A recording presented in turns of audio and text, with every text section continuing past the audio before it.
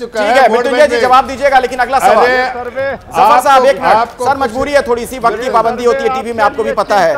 है। मैं मैं इस पर आगे चर्चा करूँगा लेकिन उससे पहले हम अगले सवाल का रुख कर लेते हैं। दरअसल देश का मूड क्या है? इस बारे में जब हम बातचीत कर रहे थे जो अगला सवाल हमने पूछा तो उसका नतीजा क्या रहा वो आपके सामने है। हमारा जो अगला सवाल है उस पर नज़र डालिए।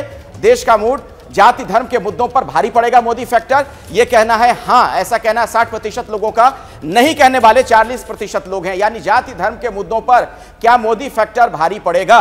यह कह रहे हैं, साठ प्रतिशत लोग। मृत्युंजय तिवारी जी। जी, देखिए, सभी जाति, सभी धर्म के लोग ये चाह रहे हैं कि 2024 में बीजेपी की सरकार की विदाई हो। अब यही लड़ाई है, सब लोग मिलकर लड़ेगी। देश की जनता लड़ेगी। जनता गरीबों का थाली खाली है। ये लड़ाई है सच और झूठ की। ये लड़ाई है गरीबी अमीरी की। तो जनता आगे बढ़ करके लड़ेगी। सिंहासन खाली करो जी आपने शायद सवाल सही से पढ़ा नहीं वही तो सवाल वही था कि क्या इन मुद्दों पर मोदी फैक्टर भारी पड़ेगा?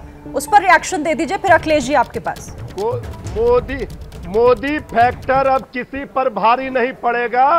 अब देश की जनता मोदी सरकार पर भारी पड़ेगी। अखिलेश प्रताप सरकार को ठीक है विदा करेगी। अखिलेश प्रताप जी।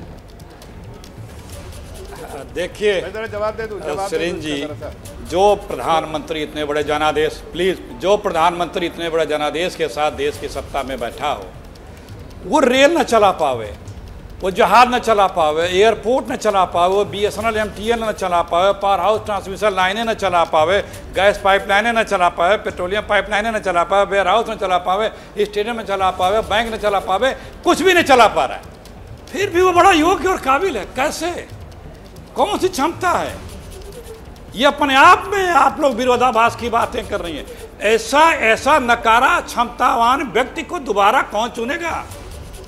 एक चीज़ हो सकती है मोदी जी सत्ता में आ सकते हैं अगर ये ये जवाब बोलने लगे मैं जवाब देता हूँ मैंने काला धन ला दिया। ना एक मैं सुनिए पहली बात एक चीज़ पे मोदी जी सत्ता हाँ सुन लीजिए एक चीज़ पे सत्ता में आ सकते हैं वो भाषण करें मैंने काला धन ला दिया ना पंद्रह लाख खाते में डाल दिया ना दो करोड़ नौकरियाँ दे दी। ना महँगाई मैंने समाप्त कर दी ना रुपए गिरते रुपए को मैंने संभाल लिया ना डॉलर को डॉलर का काम कर दिया ना सौ स्मार्ट सिटी सौ स्मार्ट से। अरे मैं आपके प्रधानमंत्री जी को बता रहा हूँ कि कैसे वो आ सकते हैं। अगर ये कहने लगे कि देखिए मैंने सौ स्मार्ट सिटी बना दी ना गंगा मैया को साफ़ कर दिया ना काशी को क्योटो बना दिया ना लोकपाल है, ला दिया ना गैस के दाम तीन सौ कर दिया ना आएँगे, को ले आया ना कृषि का दोगुनी कर दी ना और देश के सारे लोगों को घर मुहैया करा दिया ना सवाल लगातार ज़रूरी है जो जनता से तो पूछे ये आपके और हमारे नहीं बल्कि आप देश की जनता के सवाल है। क्या मजबूरी है मेरी बताइए।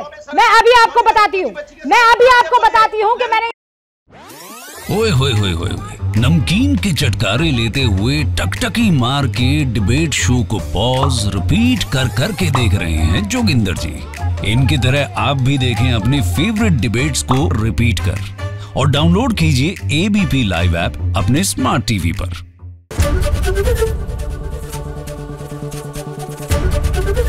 एबीपी न्यूज़ आपको रखे आगे।